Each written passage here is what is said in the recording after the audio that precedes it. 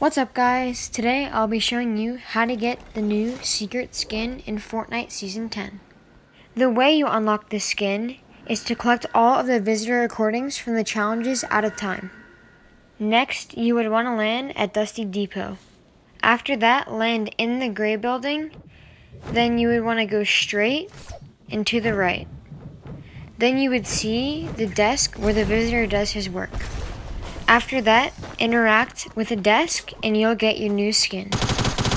Hopefully this helped you guys out. Remember to subscribe. Also, like the video if you're excited for Season 11 to come out.